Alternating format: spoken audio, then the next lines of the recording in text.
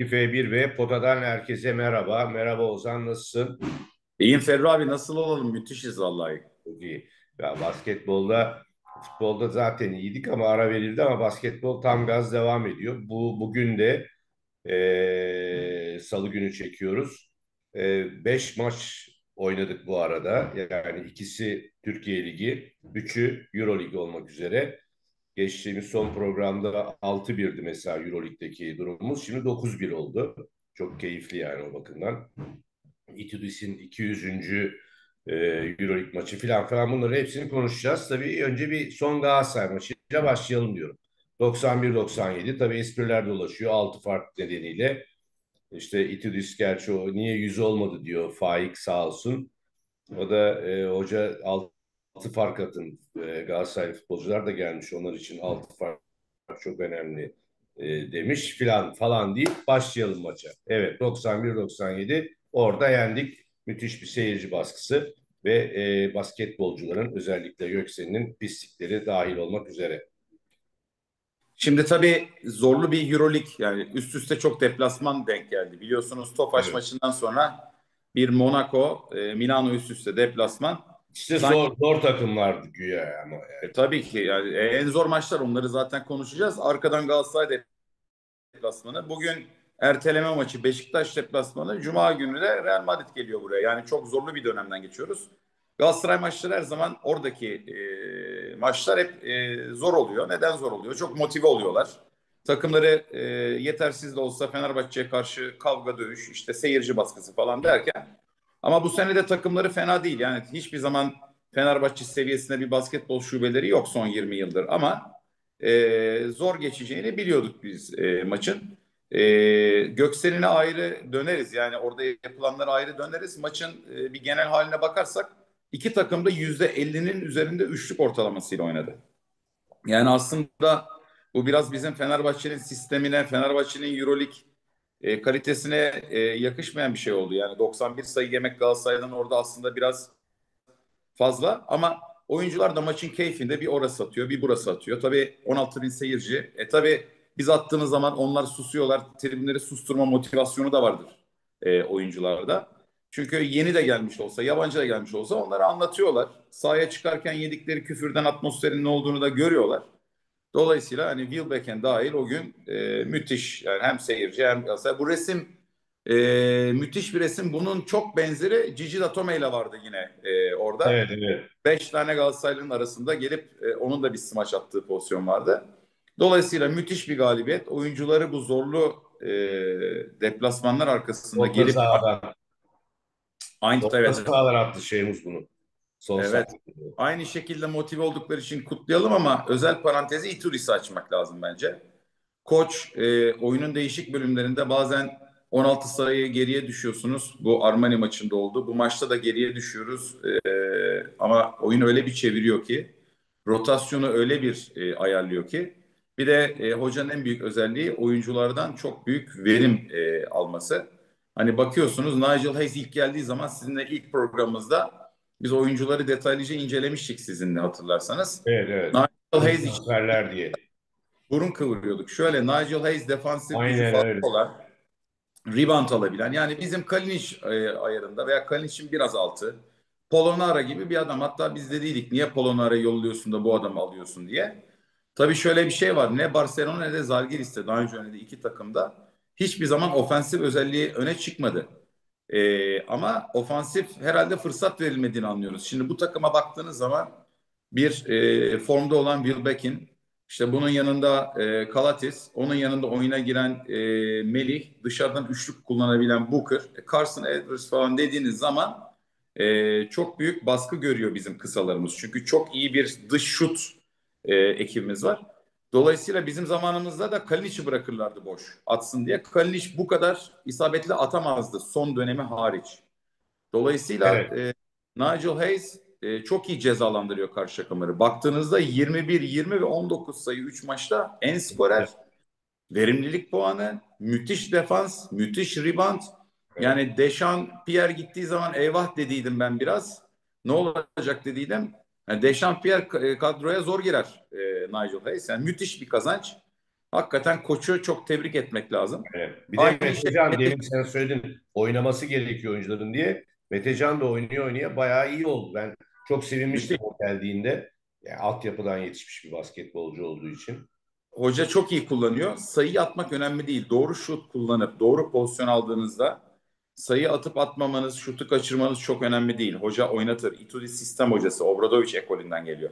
Melih mesela oyuna girdi. Galatasaray maçında Melih'in orada muhakkak olması lazım. Hem seyirci hem karşı takım için. Ama iki tane pozisyon hatası yaptı. Hoca bir çıkarttı bir daha oyuna sokmadı. Itudis enteresan bir adam. Maçı kaybedeceğini bilse sokmaz. Aynı bizim Obradoviç gibi.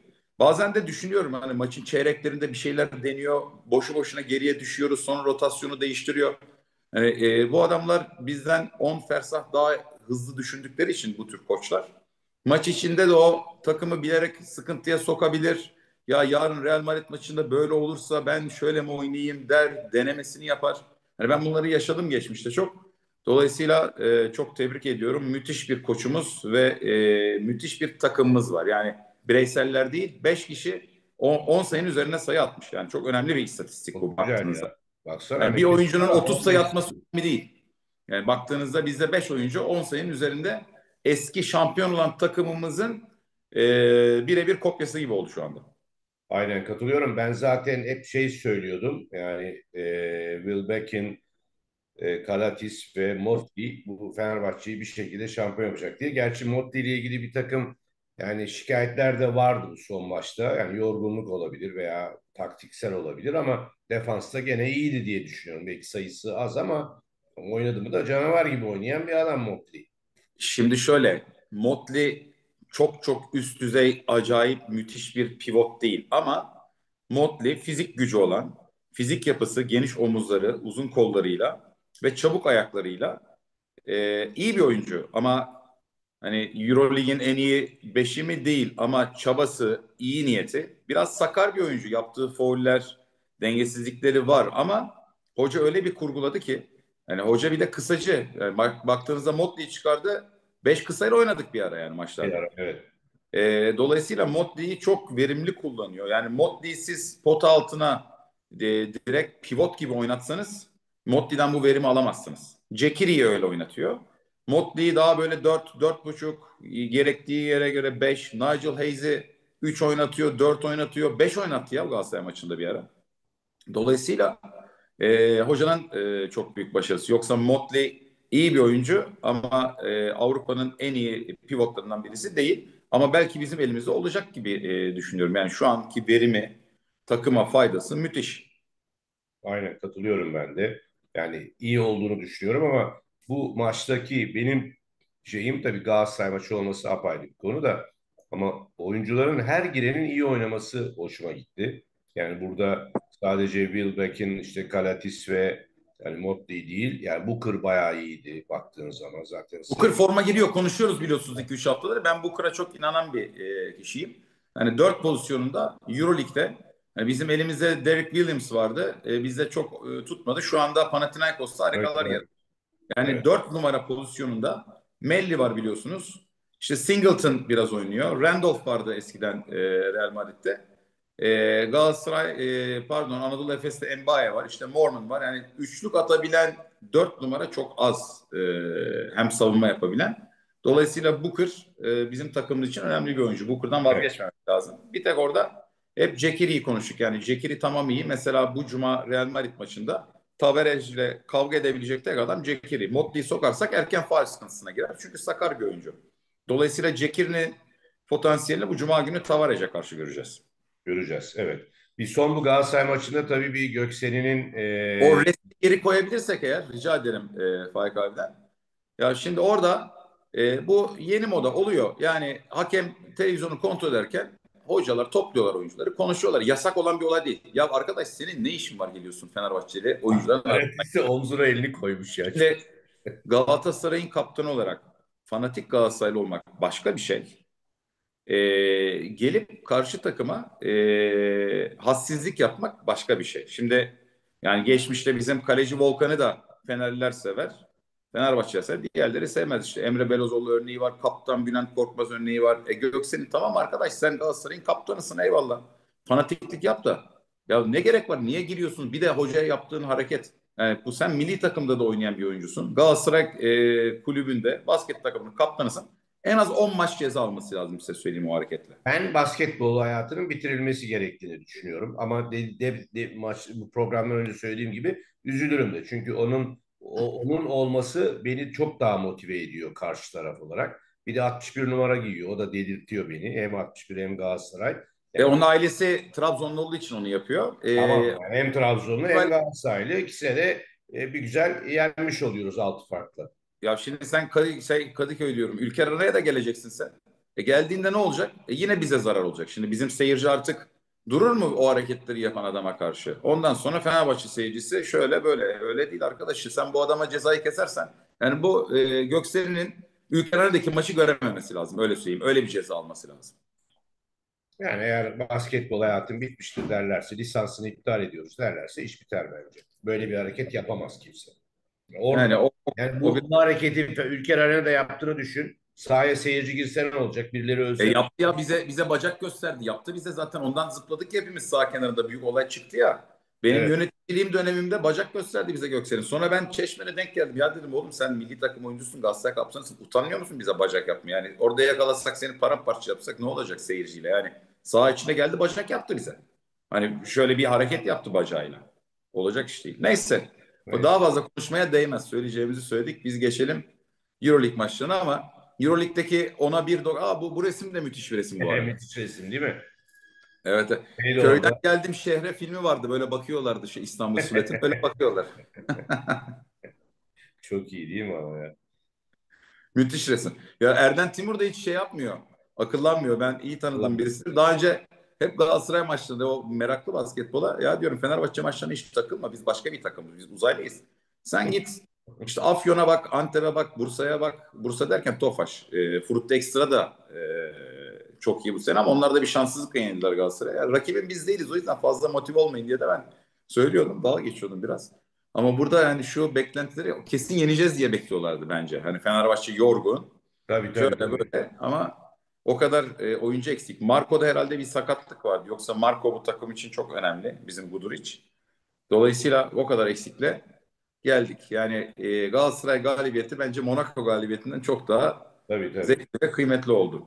Tabii biz bir, bir öncesinde de Tofaş'la oynadık. Onu kendi sahamızda son e, en rahat maçımızdı yendik diyelim.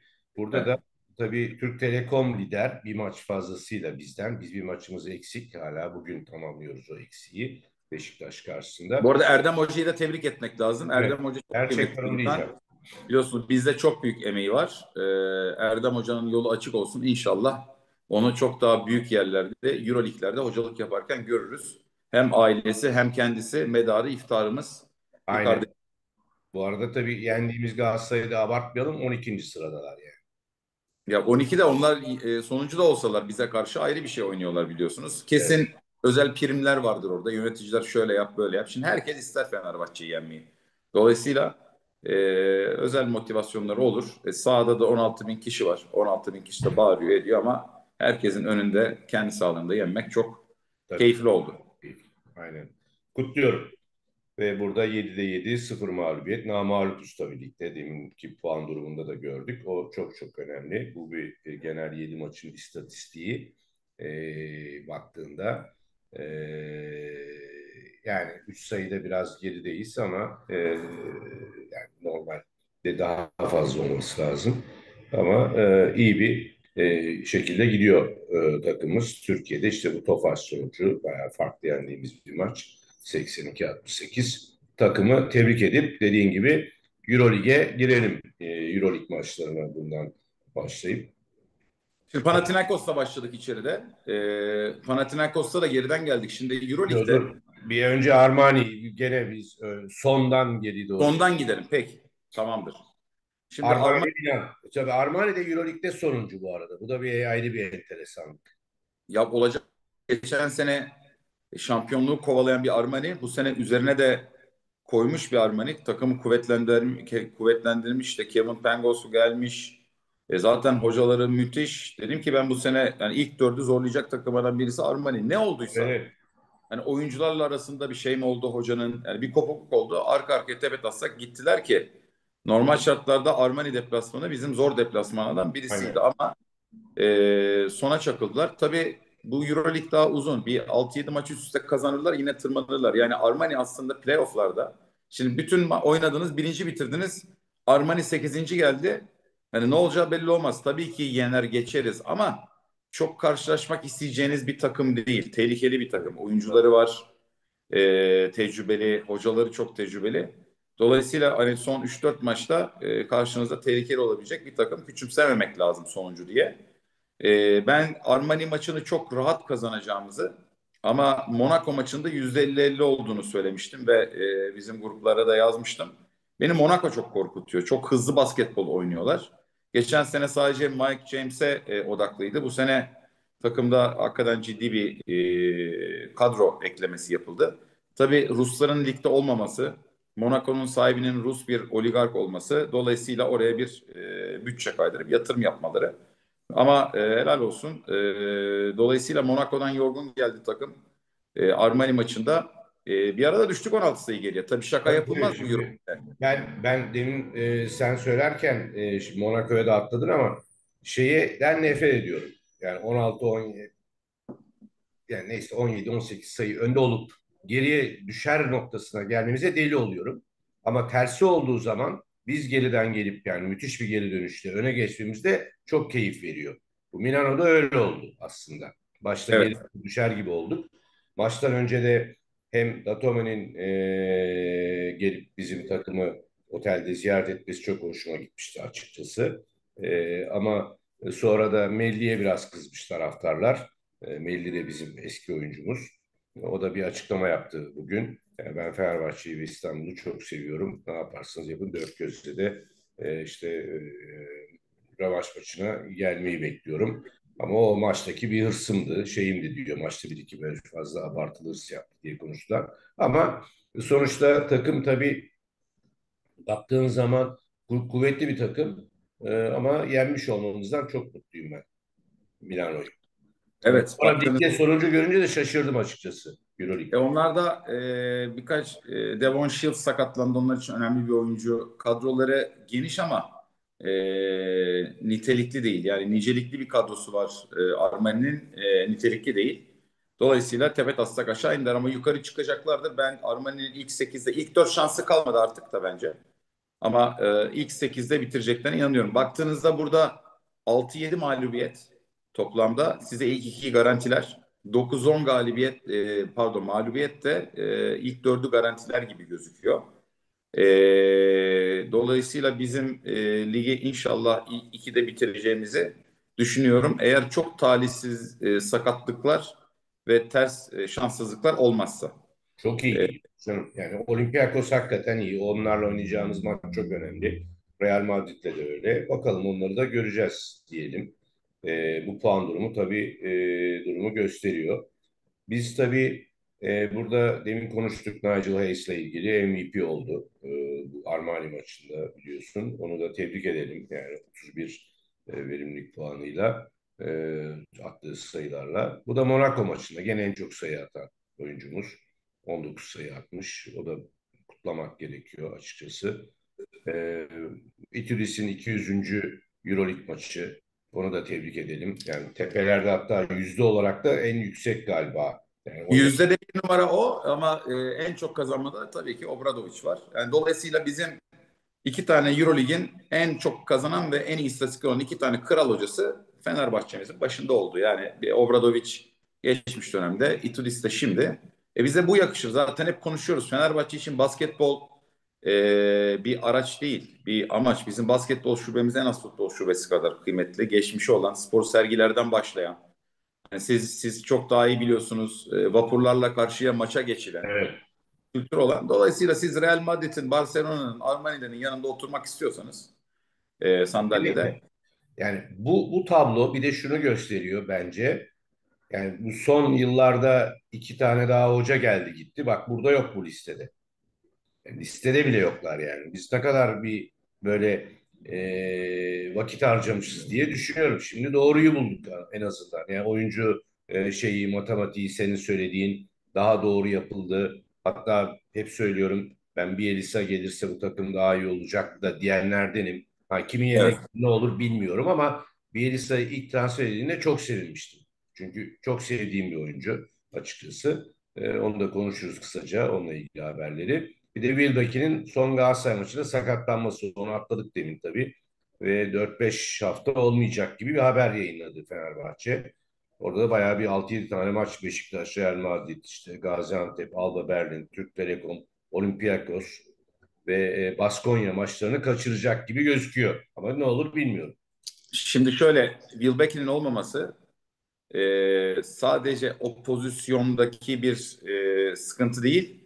Etrafında Wilbeck'in olması yüzünden iyi oynayan oyuncuları da biraz aksatacak. Yani biz hep konuşuyoruz. Kalatis müthiş bir oyuncu ama siz Kalatis'ten hem şutör özelliği hem e, asist özelliği beklerseniz olmaz. Kalatis ligin en iyi oyun kurucusu, asist kralı. Ha denk gelirse 10 sayı, 12 sayı, 15 sayı atar. Ama Wilbekin gibi bir combo guard yanında. Yani Kalatis'i biraz rahatlatacak top sürme yeteneği. Defansı kötü değil. Müthiş bir şut yeteneği var. Dolayısıyla Wilbekin üzerine karşı takım çıkmak durumunda yanındakileri rahatlatıyor. Bugün baktığınızda Kalatis'te Wilbekin'in performansı Nigel Hayes'in e, başarısını sağlıyor. Evet. Çünkü e, boş bırakamazsınız e, ikisini de. Hatta milli maçta ben e, hayıflandım Ergin Hoca'ya. Şimdi Wilbekin'e son topu kullandırıyorsun ama ya arkadaş sen oraya Melih'i de sok. Karşı takım mecbur. Sırbistan mecbur Melih'i tutmaya. Sırplar Melih'i çok iyi tanıyorlar. E, Melih'in üzerine çıkacak. Belki Wilbekin boş kalacak. Belki Onur Alp boş alacak. E, sayı atacaksın. Elimizdeki maçı verdik. Dolayısıyla bu oyuncunun yokluğu kendi performansı dışında evet. yandaki oyuncuları etkiliyor. Şimdi siz baktığınızda 15-20 sayı ortalaması var Wilbekin'in. 15-20 sayı bir yerden bulmamız lazım. Evet. E, hadi Carson Edwards bugün eli sıcak oldu Madrid'e karşı ki Real Madrid zor takım oynatmaz. Real Madrid top göstermez. Dikkatli ol, olmak lazım. Edwards kuvvetli, drive etti diyelim. 15 sayı attı. Ama bu sefer Kalatis'in performansını düşürecek. Nigel Hayes boş kalmayacak, zorlanacak. Yani çok talihsiz ve keşke şu Real Madrid maçında da olsaydı Wilbeck'in. Çünkü büyük maçlarda büyük motiv olan bir oyuncu. Ha, şöyle bir şey var. Şimdi Şehmuz yavaş yavaş kıpırdanmaya başladı. İsmet yok ortada. Ben de anlamıyorum ne oldu. Geçen seneki Real Madrid maçında İsmet'le Şehmuz'un müthiş oyunu ve enerjisiyle silmiştik sağdan. 50 Yine sayılarda topa. bırakmıştık. Evet. E, girecekler topa. Şimdi Melih Galatasaray maçında kenara çıktı. Bir daha oyuna giremedi. Abi gireceksin 15-20 sayı biz nasıl yakalayacağız? Melih oynayacak, Şehmuz oynayacak, İsmet oynayacak. Yakalayacağız. Carson Edwards da söyledik iyi bir oyuncu, kuvvetli bir oyuncu ama Amerika'dan gelen oyuncular ilk sene Euroleague'de muvaffak olamıyorlar. Bu yatırım yapılması gereken bir oyuncu. Önümüzdeki evet. sene kalması gereken. Ama çıkacaksın Real Madrid maçını atacaksın arkadaş 20 sayı. Yani madem kendini göstereceksin. Bu maçlar fırsattır. Wilbeck'in olma, olmaması bizim Türk kartlar ve Carson Edwards için çok büyük fırsat. Fırsat tabii. Bu arada demin MVP işte Nick Galates'in bu Monaco maçında seçilmesinde de dediğin gibi Wilbeck'in olmasının büyük e, avantajı vardı açıkçası. Kesin. E, bu arada tabii Karates'i de kutlayalım. Ondan önce de Panathinaikos'ta oynadık. İşte bu da 107-77 yendiğimiz ağır bir fark attığımız bir maçtı. Rahat oynadık. O kadar rahattı ki yani çok keyif aldık. Müzede ilk defa seyirciye yani taraftara. Ama çeyrekte geriye düştük abi bu arada yani. Burada zayıf takım yok. Bırakmayacaksın. Yok, evet. Yani demin zaten söyledim sana geriye düşmek yani önde olup geriye düşmek çok kötü bir şey. Bu Monaco e, maçıydı galiba. O, orada ciddi öndeyken neredeyse bir sayı. Yani 93-96 mı öyle bir şey bitirdi, bitirdik maçı. Evet. Ee, yani ben hatta çok kızdım filan. Benim arkadaşlarım da söylendi ya ben yani önde ciddi önde olup kaybetme noktasına gelmesini yani kaybetmeye zaten değil oluyorum da hani olmasına sinir oluyorum diyeyim. E, Panathinaikos maçında bir sonunda ciddi fark attık. Hem de Euroleague'de e, ilk e, yani bu kadar yüksek sayı atan takımlardan biri olduk. Bu ben e, çektiğim resimler. Baştan sağ içinden gerçekten çok keyifliydi maç. Bir de tabii maçtaki maskotumuz da çok e, güzel e, hareketler yaptı burada. Sarı diye geçiyor galiba adı. E, Kanarya e, şeyi. Gerçekten tam önümüzde takla atarak keyif verdi. Gene Bilbek'in çok iyiydi filan diyelim. Panathinaikos maçını hatırlayabiliyorsan sen de biraz anlat istersen. E tabii şimdi Panathinaikos e, zayıf bir takım ama e, son 3-4 maçta bir hoca değişikliğiyle beraber Bir iki de oyuncu ettirdiler. Bir çıkış ivmesinde Panathinaikos ilk 8'i zorlayacak. Çünkü şimdi onda da şunu unutmayın. Olympiakos eski günlerine dönmeye çalışıyor ve başarılı. Panathinaikos hala çakılıyor. Bir de e, işte babası, amcası ayrıldıktan sonra Panathinaikos'un başına geçen genç başkan var. Takımın sahibi var. E, o geçtiğinden beri takım tepe taslak gidiyor. Zaten deplasmanda kaybedeni sen otobüsle yollarsan, iyi oyuncuları takımından kaçırırsan, bütçeyi küçültürsen başına bu gelir. Panathinaikos büyük bir basketbol aslında efsanesi baktığınız zaman. Biz e, o beşinci bitirdiğimiz şampiyon olduğumuz sene Panathinaikos dört bitirdi. E, Aziz Bey hop oturup hop kalkıyordu. Son 22 yıldır Anadolu Efes, Karşıyaka bütün takımlar dahil orada kimse yenememişti onları Türk takımı olarak. Evet, evet. Oradan buralara geldiler ama Panathinaikos ne yapacağı belli olmaz. Kendi sahasında her zaman o e, sahaları inanılmaz derecede e, o tribünler e, ya içeride resmen duman altısınız yani. Herkesin elinde sigaralar bilmem neler falan. Yani inanılmaz yani hakemler bile karışamıyorlar. Cezasını ödeyip bütün maç böyle sis şey gibi sis bombaları atıyor. Sağ kenarında sahibi ortaya koltuğu koyuyor bir de proyu yakıyor orada. Aynen öyle. Globo çizgileriyle resimleri vardı adamın ya. Evet, ama ama artık e, bizim ayarımız olan bir takım değil. Ama bizim rakiplerimiz yenerse iyi olur. Tehlikeli bir takım. Yani Euroleague'de çok zayıf diye bir şey yok. Yani Bence. Partizan görüyorsunuz kaç e, para bütçe? 7-8 milyon e, euroluk bütçeyle Partizan da ilk 8'i zorlayacak. E, Kızı Yıldız çok kötü hakikaten. Ama dün ligde Partizan'a 10-15 sayı attılar yine. Çok büyük olaylar çıktı yani. Belli olmuyor bu işler Euroleague'de. Euroleague'in güzelliği de o. Yani aslında baktığınızda Hani o ilk 5 takım alt takım herkes yense bu kadar keyifli olmazdı. Takımların arasında bir denge gelmeye başladı. Dolayısıyla e, hani Ruslar da keşke olaydı ama Rusların olmadığı bir yerde Rus takımlarındaki oyuncular dağılınca Eurolig'e e, her takım her takımı yenebiliyor. Tabii biz gerçekten sistem olarak, hoca olarak, oyuncu olarak hepsinden ikişer üçer gömlek yükseğiz. E, nazar değdirmeyelim maşallah diyelim. İnşallah böyle de gideceğiz. Evet inşallah böyle gideriz. E, tabii basketbolda bu hafta yani bugün Beşiktaş'la oynuyoruz. Orada başarılar dileyelim. E, daha sonra da e, hafta sonu yani Cuma günü de Real Madrid'le oynuyoruz. O da işte gördüğün gibi bütün biletler tükenmiş durumda. E, o bakımdan da e, taraftar yalnız bırakmayacak gözüküyor takımımızı ve büyük keyif veriyorlar. Özellikle futbolun yani Dünya Kupası var ama yani Fenerbahçe futbolun yani hazırlık maçları falan da var ama onun dışında ciddi bir maç. Ee, başarılar dileyelim. Bu maçı da yenerlerse hakikaten artık önümüzde kimse duramaz diye düşünüyorum ben şahsen. Belli olmaz tabii çok erken. Senin bir lafın var. Obradovic istemezdi takımda oyuncular çok havaya girmesin diye önlerde olmasını. Arada mağlubiyet iyidir filan der diyorsun. Ama tabii ben sokakta iki tane çocuk top oynasa, birinde sarı lacivert kıyafet olsa onun yenmesini isteyenlerden olduğum için e, biraz şeyim. Tabii ki yenmesini istiyoruz. Real Madrid'i burada tabii ki kendi sahamızda yeneceğiz de. Ama havaya girmemek lazım. Daha bir şey kazanmadık. Çok iyi gidiyoruz. Tabii, Daha bir şey kazanılmadı. Yani e, Allah korusun bu işin lig uzun.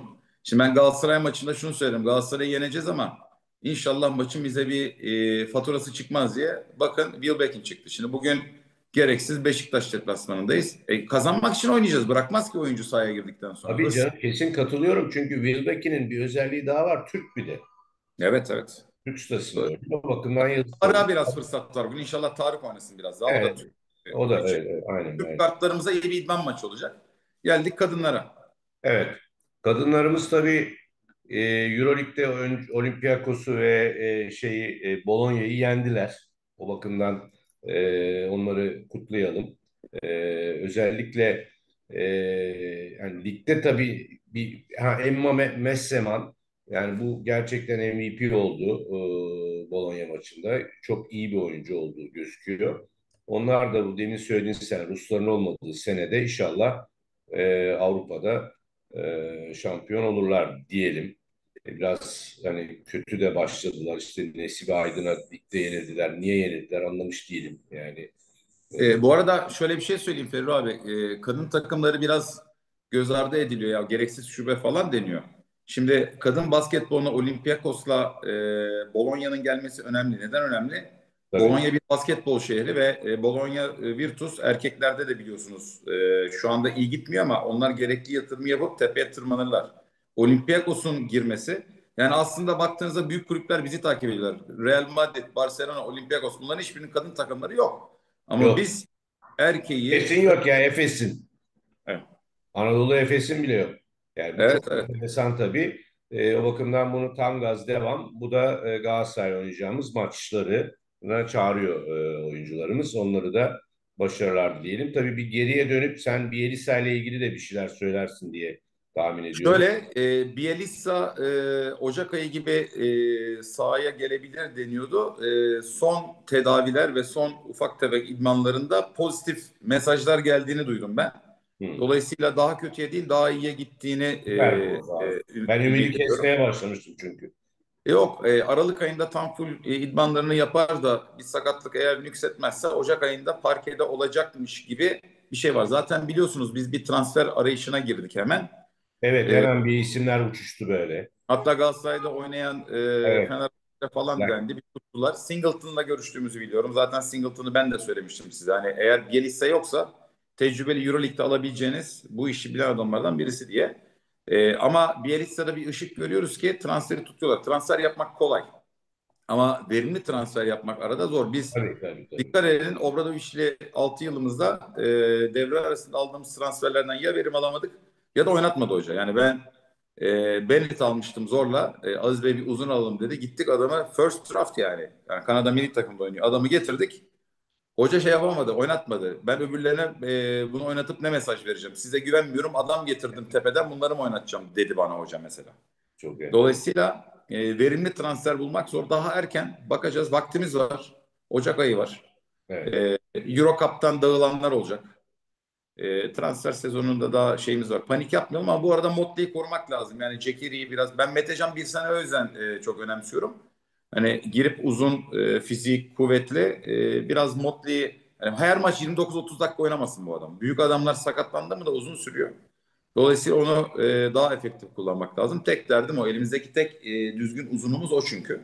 Ama Booker'ın yavaş yavaş gelmesi iyi oldu. Bir de hoca deniyor zaten. Yani dört kısa e, artı guardlı sistemi deniyor. İki tane dört oynatıyor. İşte üç dört oynatıyor. Beş koymuyor. E, maç içinde bu e, Motley'i koruma şeyleri. E, çabaları.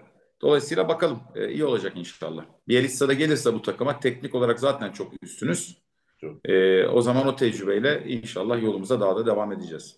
Katılıyorum ve Bielitsa'nın tabii katılması eee, çok iyi tabii de bu sakatlıktan sonra eğer katılırsa ki takımın da oturmuş olması nedeniyle öyle çok da ona yüklenilecek bir durum yok. E, arada girer oynar. Yani illa da böyle kendini zorlamaz. Tekrar sakatlanacağı bir durum olmaz diye umuyorum ben.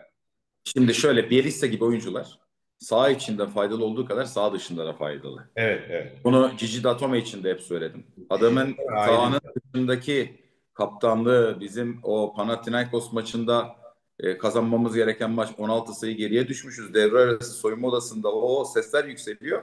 O zaman işte Bielitsa sağ dışında çok kıymetli bir oyuncu. Bielitsa tecrübesiyle, takımı toplamasıyla, hakemler üzerindeki baskısı her takımın defa saygı duyduğu bir adam. E, NBA'de şampiyonluk yaşamış. Şampiyonluk Euroleague yaşamış ya. Dolayısıyla sağ içinde faydalı olacağı kadar ben sağ dışında da yani Itudis'in sağ kolu. Bizde Pero Antiş de o görevdeydi bir ara. Aynen. tabii. Itudis'in e, oynayan menajeri gibi düşüneceksiniz onu. O yüzden e, inşallah e, gelir. Önümüzdeki sene de bizde kalır. E, ondan sonra da bakarız e, takımın. Şu anda e, nerede biliyor musun? Yani Türkiye'de mi? E, benim bildiğim Belgrad'da. Amerika'ya gitmişti e, Evet, tedavi. biliyorum da ben tedaviden Amerika'dan bence programını yani şu, kesin bilmiyorum ama Belgrad'da olduğunu düşünüyorum. E, Belgrad'da programını uyguladığını e, düşünüyorum.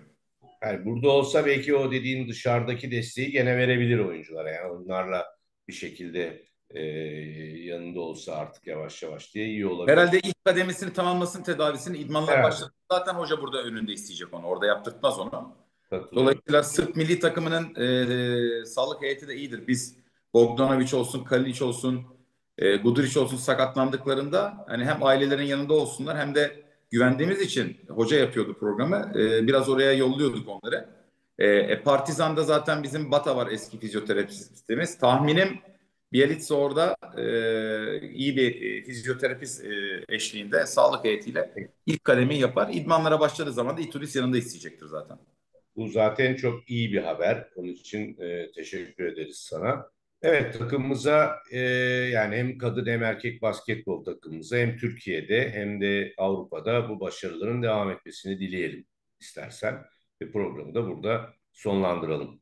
İnşallah bir dahaki programda Beşiktaş ve Real Madrid galibiyetlerini yorumlarız beraber. Aynen aynen inşallah. Keyifli. Aynen evet. Görüşmek dileğiyle. Sağ olun, iyi günler.